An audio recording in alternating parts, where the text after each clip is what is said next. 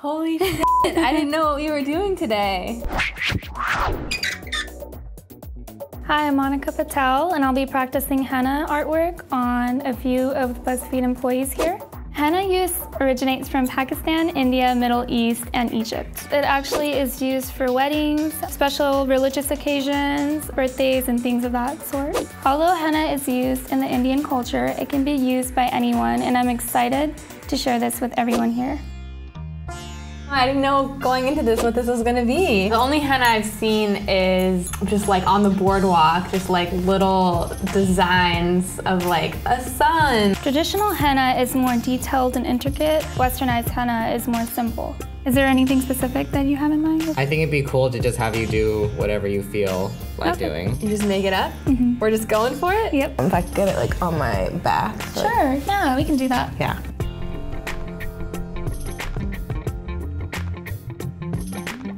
It smells really good.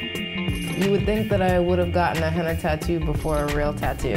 How do you like it so far? this is nice. It's really relaxing. Feels like somebody's decorating me like a like a cake. But I kind of feel like I should have shaved my arms. It would be cool if this became more widespread though. Is westernized henna like almost like like disrespectful? No, it's not. Okay. It's not. Henna is used for a traditional way in Indian culture, but it can be used by anybody. How long does it last for? Depending on how often you wash your hands, it can last up to two weeks. Okay, well, I won't wash my hands then. We're mixing water, sugar, and lemon. And what this does is it intensifies the color of the stain. It's like when you have like a cut that crusts over, but I know that it'll be worth the wait. Just the fact that I watched her do this, it makes me want it to last as long as it can. You want to see it? Yeah. ah, look at that! oh my god! I love it. Awesome, glad you do. This is like the coolest thing that's ever happened to me, maybe. like, I'm not even joking. It's so awesome. It's so beautiful. I don't even know what to say right now. Even though this design is just on my arm, I think there's something about taking the time to do all of this for yourself that will make you feel just intrinsically more beautiful in your entirety.